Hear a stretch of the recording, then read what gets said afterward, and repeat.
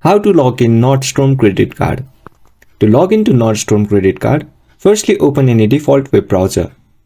Search for nordstromcard.com in the search bar. Then you'll be redirected to the official Nordstrom website. Here, as you can see, there are two sections. If you haven't yet signed up for the card management, then you should head to sign up now in the right hand side of the screen. While if you do have the account, then you can manually type your username and password in the respective fields. And finally tap on sign in. Once you tap on it, you'll be logged in to your online card page. And this is how you log into Nordstrom credit card. If you find this video helpful, please make sure to like and subscribe to our channel.